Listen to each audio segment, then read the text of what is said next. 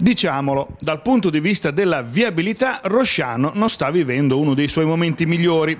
Preoccupazione diffusa per il nuovo senso unico che sorgerà, presto il famigerato svincolo con via Campanella subirà una trasformazione con un altro senso unico e per entrare dal quartiere provenendo da Bellocchi si dovranno fare due rotonde e il giro dell'Oca. La nuova interquartieri poi che taglia fuori la periferia a monte della città con biciclette e pedoni che non se la passeranno troppo bene, stante così le cose. In più ai nuovi problemi si aggiungono le situazioni ormai incancrenite nel tempo e che certo non migliorano la situazione generale. Siamo tornati a Rosciano, nella cosiddetta strada di mezzo.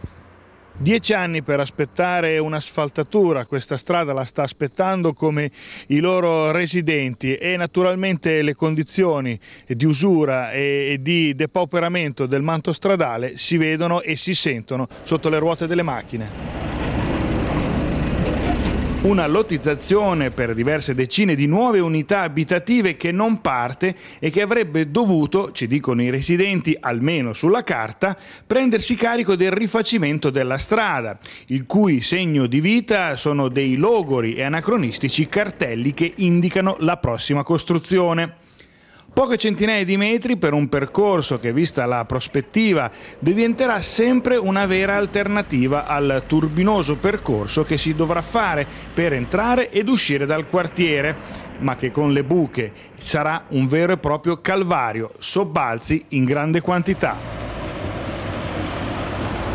Sì, ecco, quella lì voglio ricordare che è rimasto un pezzettino, ma non sì. perché ci siamo dimenticati o non abbiamo voluto asfaltarlo, semplicemente perché lì sono previsti dei lavori, abbiamo già dato un ultimatum a coloro che devono eseguire questi lavori, perché se non li eseguiranno interverremo noi, perché ormai è già passato troppo tempo, però quella era una... tant'è che a Rosciano abbiamo asfaltato tutte le strade tranne quel eh, pezzetto, quindi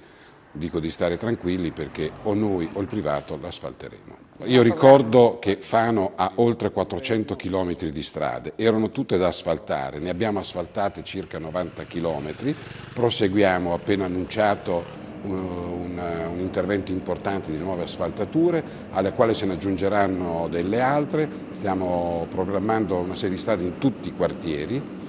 in particolare dove non eravamo arrivati con le precedenti asfaltature, con un'attenzione anche a quelle strade periferiche, cosiddette anche di eh, campagna, con eh, un metodo diverso che abbiamo già sperimentato e che funziona, quindi arriveremo anche in questi borghi, in questi luoghi eh, più periferici.